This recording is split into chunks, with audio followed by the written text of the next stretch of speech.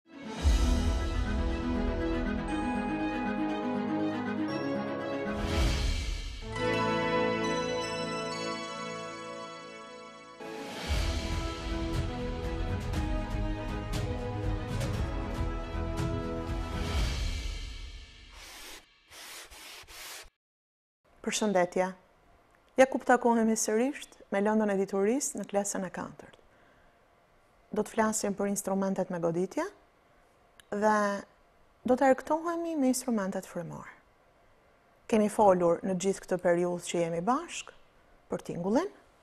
Do t'i rikthehemi disa njohurive të marra gjatë kësaj periudhe lidhur me tingullin dhe vetitë e tij. Besoj se mbani mend që tingulli përhapet nga burime të ndryshme, dhe ai dëgjohet vetëm kur mbërrin në veshin tonë. Mjediset lëndore të cilat e përhapnin tingullin, ishin ujë, druri, ajri.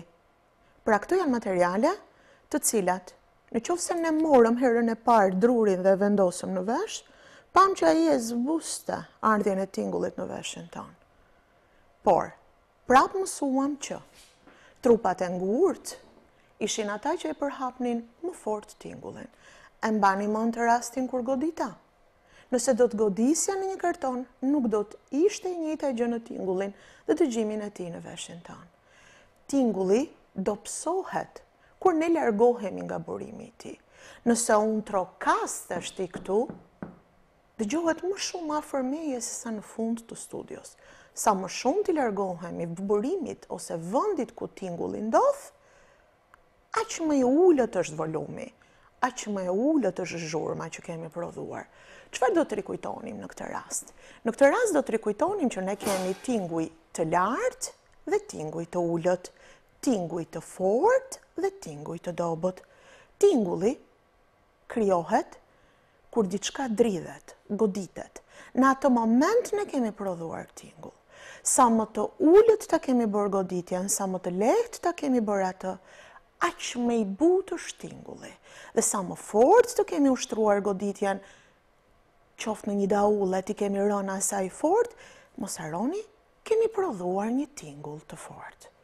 Tingujt e fortë dhe tingujt e dobët janë ata që nisin me fjalën, me goditjen, kujdes, mos harroni, tingujt e fortë, na dëmtojnë aparatin tonë të dëgjimit.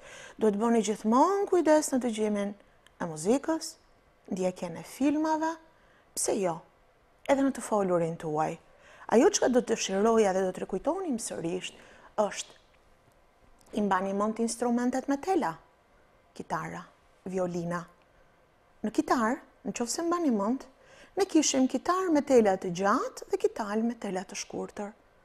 Tingulli, varej, nga gjatësia e telit, sa më i gjatë të ishte teli, aq më shumë ndodhnin dridhja në të, dhe aq më i plotë ishte tingulli, aq më shumë ishte fortësia e tij. Kush na ndihmonte që të na e bënte tingullin më të fortë?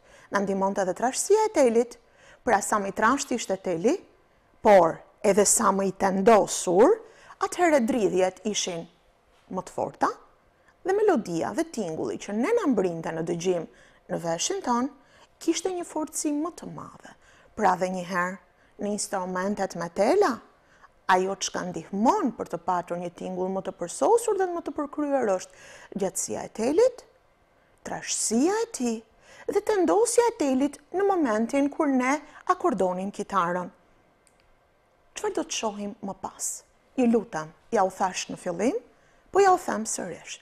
Tregoni kujdes dhe përgjegjësi për ruajtjen e veshit tuaj. A e mbani mend cila ishte njësia matëse që maste nivelin e tingullit? Ha, ju kujtohet. Pa të largohem unë nga ekrani dhe të shikoni, njësia matëse e nivelit të tingullit është decibel. Decibeli, sa më i lartë të jetë tingulli, aq më e lartë është zhurma që ne kemi prodhuar. Të prodhuarit e zhurmës dhe zhurma sa më e fortë të jetë, aq më shumë na dëmton veshin tonë. E mbani mend zhurmën e matrapikut, Hyn te zhurmat që dëmton dëgjimin, apo të qarën e fëmijës, e qara e fëmijës mund të jetë e këndshme për veshin, por prapë kur fëmija qan fort, fort, fort, ajo nuk është dhe aq e këndshme. Më ndiqni me kujdes. Ajo për cilin do të flasim sot janë instrumentet me goditje. Po të shikoni pjesën e sipërme të ekranit, do të shikoni në të një daulle dhe në pjesën tjetër, dajre.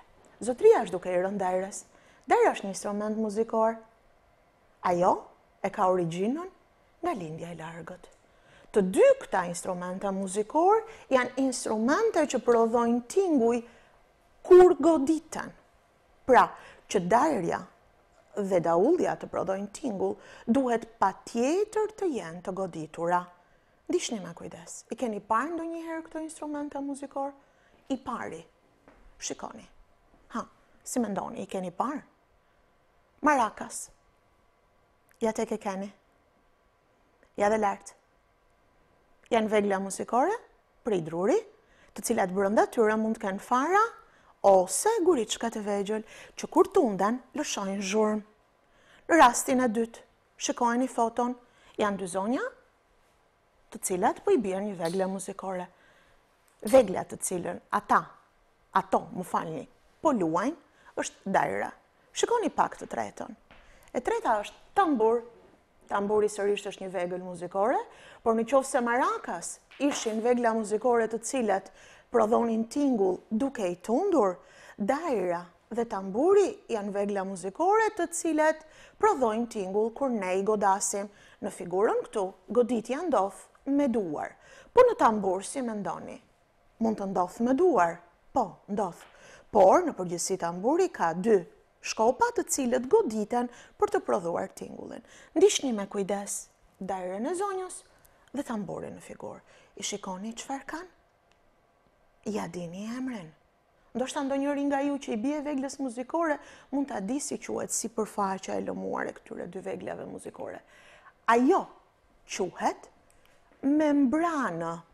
E shikoni te daullja. Membrana në daulle mund të jetë o prej lëkure ose prej çeliku.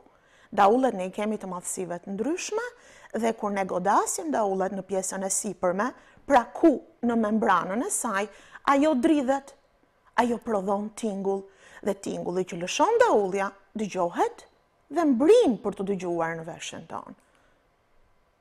Besoj se kur keni qënë të vegjël të gjithë e keni patur një të tillë. Kjo është një daullë e vogël lodër. Zonjat vazhdojnë sërish t'i bien dajrës, edhe daullja e vogël, edhe dajrja, kanë në pjesë të tyre membranën, prodhojnë tingull tek goditen. Sa më e fortë të jetë goditja, aq më i fortë është tingulli që prodhon objekti që është goditur, pra në këtë rast daullja ose dajrja. Ndiqni me kujdes. Të dyja kanë membrana të tendosura. Sa më e tendosur të jetë membrana e secilës, qoftë e daulles dhe qoftë e dajres, aq më të forta janë notat muzikore dhe kush është më e lartë. Patjetër, më e lartë më i lartë është tingulli, lartësia e tingullit në këtë rast është më e madhe. Ju ftoj të gjithëve. Personalisht e kam me shumë dashuri lidhjen e lëndëve me njëra-tjetrën. Siç e dini, ne jemi në klasë të katër dhe një nga lëndët e tjera që zhvillojmë është edhe TIK. në këtë periudhë po të ishim në shkollë, do të kishit marrë ose do të merrnit kërkimin në motore të ndryshme. Motori i cili do të kërkojmë sot informacionin tonë është Google. Mjafton të shkoni në Google, të shkruani në të Shqipja e Andeve dhe do të shikonit një pjesë. Pjesa ndodhet në YouTube, dhe flet për disa, është një instrumentist i famshëm botëror, i cili i bie instrumentave frymorë në pjesën e parë, pamë instrumente me goditje, kurse në pjesën e dytë të mësimit të sotëm, do të shohim instrumente frymorë, ç'do të thotë instrumente frymorë, nëse te i pari godisni me duar, në të dytin do të fusim frymë. Ha, njihni ju instrumente frymorë? Le të ndjekim videon, uroj t'ju kënaqë dhe është vërtet e bukur. Shqipja fluturon, bën fluturimin e saj, shikoni zotërinë. Zotëria ka në dorë disa vegla frymore, të cilave i bie duke i vendosur në gojën e tij. Ndiqeni. Ndiqeni me kujdes. Tingujt që prodhohen janë të shkëlqyerë. Melodia që ai krijon është e jashtëzakonshme. Po ju lë ta ndiqni në qetësinë tuaj të tërë pjesën.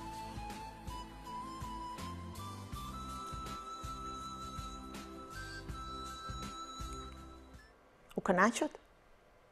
Disa nga instrumentat që zotëria përdori janë Sahuçi, Dajsi dhe pipat pan.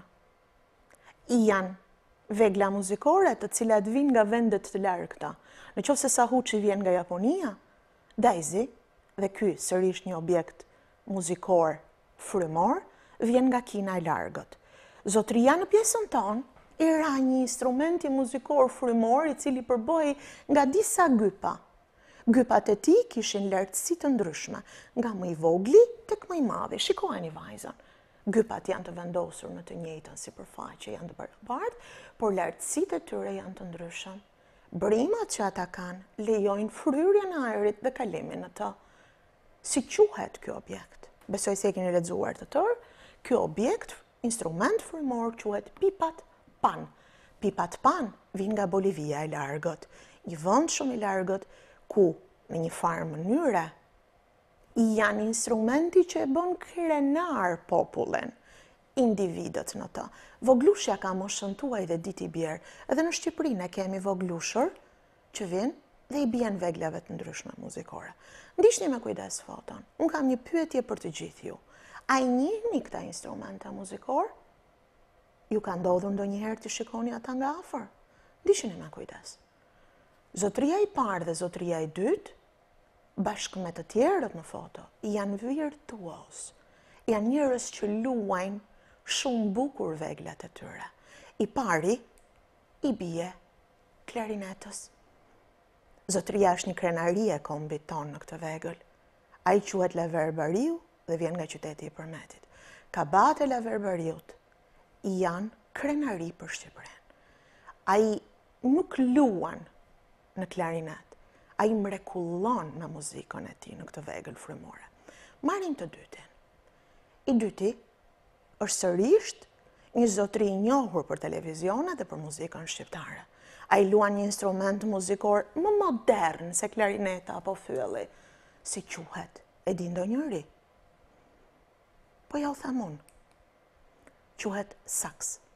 Edhe saksi është një vegël frymore, por shikoni gypi i tij vjen për lart. Klarineta i ngjan fyellit. Fyelli. Hm. Zotërinjtë në foto luajnë në fyll. Fyell. Po këtë vegël e keni parë ndonjëherë? quhet trompë. Të gjitha veglat muzikore që ju shikoni në foto janë instrumente muzikore, por janë instrumente frymorë, pra luhen prodhojnë tingull kur në to fusim frymë dhe i godasim gypit të tij duke shtypur më falni mirë butonat, ja tek duken butonat, fyelli nuk ka butona, ka vrima ku individët që i bien për të prodhuar muzikë, shtypin nga njëra vrimë në tjetër për të dalë melodia. Të njihemi specifikisht me njërin prej tyre. Ai është fyelli, ç'është fyelli?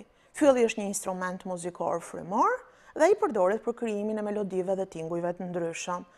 Fyelli e ka prejardhjen e tij nga Arabia e Largët, si mbriti fyelli në Shqipëri. Nga disa tregtarë që bënin tregti me Arabinë e Largët, e sollën atë në Shqipëri.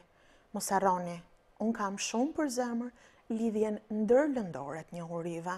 Më parë ju tregova lidhjen e diturisë së natyrës me TIK-un, me kërkimin në motorin Google të pjesës Shqipja e Andeve. Tani po ju kujtoj që në orarin tonë mësimor javor, ne kemi dhe lëndë të tjera.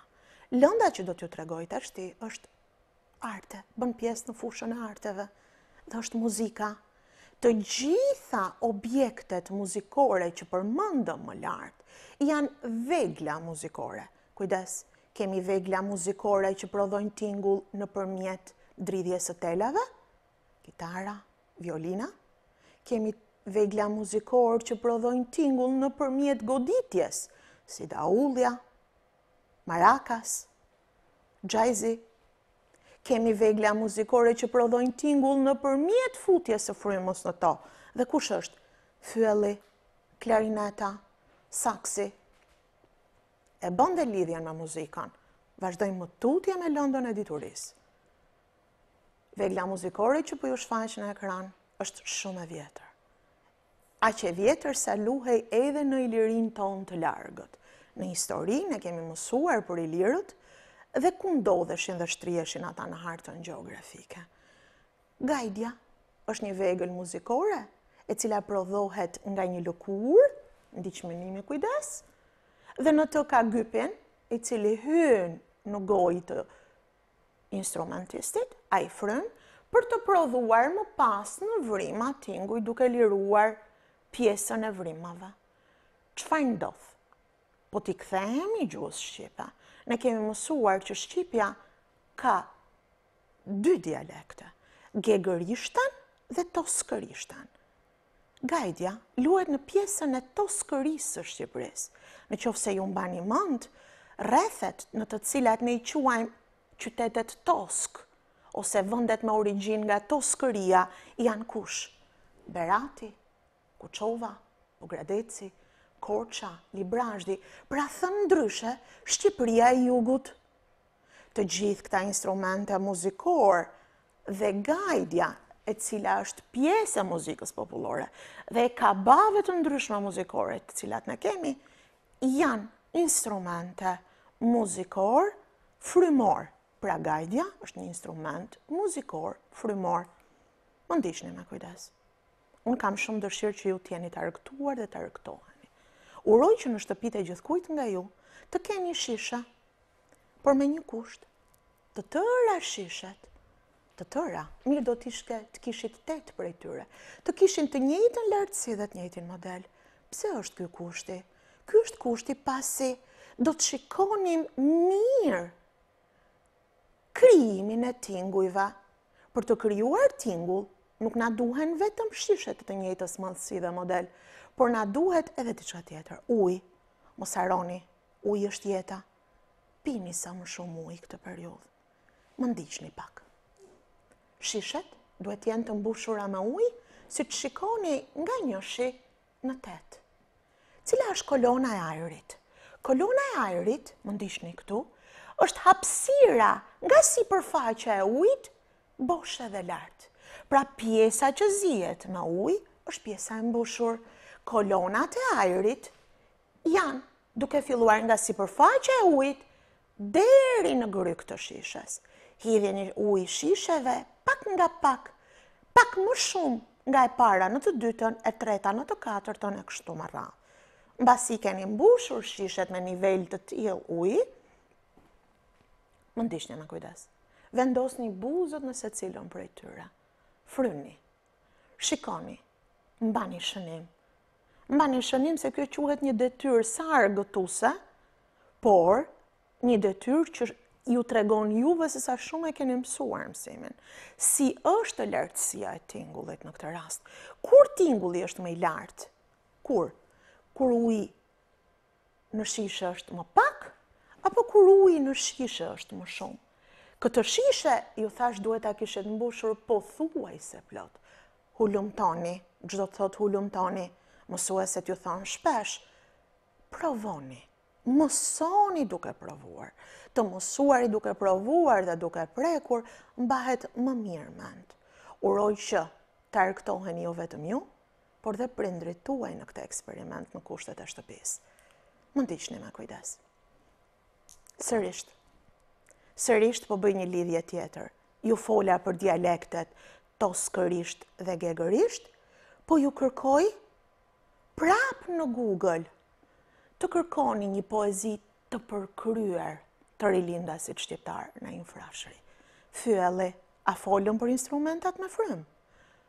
Naim Frashëri, në poezitë e tij për natyrën, për diturinë e natyrës, ka krijuar dhe një poezi për fyellin. Shumë të bukur. Mos harroni, poezitë kanë vargje, vargje dhe strofa. Unë dua nga ju të shikoni sa strofa ka poezia, po ju lexoj vetëm njërën prej tyre. Strofa që po ju jap ka katër vargje, pa dëgjo fyellin ç'thotë. tregon mërgimet e shkreta, qahet nga e zeza botë me fjalë të vërteta.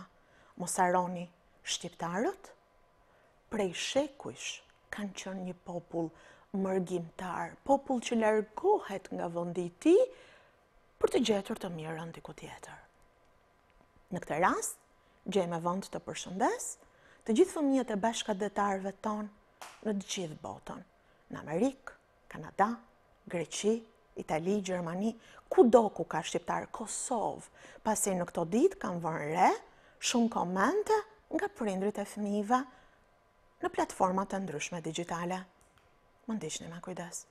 Ajo çka unë i jap shumë rëndësi është mbaj mend. Ngulite. Çdo mësues ju thotë shpesh, mbaj mend, përsërit, populli shqiptar ka një shprehje shumë të bukur të nderuar vogëlushë. Përsëritja është mëma e dijes.